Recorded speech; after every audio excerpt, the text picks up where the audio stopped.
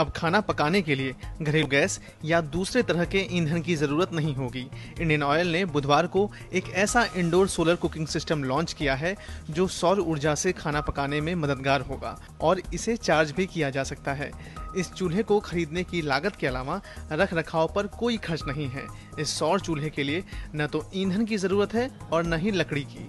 केंद्रीय पेट्रोलियम मंत्री हरदीप पुरी ने इस चूल्हे को लॉन्च किया, जिसका नाम सूर्य नूतन रखा गया है। सौर ऊर्जा से चलने वाले इस इंडोर कुकिंग सिस्टम को इंडियन ऑयल के रिसर्च एंड डेवलपमेंट टीम ने बनाया है।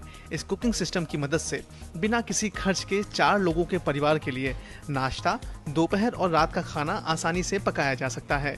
इस कुकिंग सिस्टम की कीमत भी बेहद कम है। वर्तमान में ये सूर्य नूतन चूल्हा पंद्रह हज़ार रुपए में उपलब्ध होगा। आगे मांग बढ़ने पर इसका प्रोडक्शन बढ़ाया जाएगा, जिससे इसकी कीमतों में और भी कमी आएगी और ये आम लोगों की पहुँच में आ सकेगा। पुरी ने कहा कि प्रोडक्शन में निजी क्षेत्र की भी रुचि दिखाने की उम्मीद है। इस चूल्हे की लाइफ 10 साल है। यानी आपको एक बार खर्च करना है और फिर अगले 10 सालों तक फ्री में खाना पकाना है।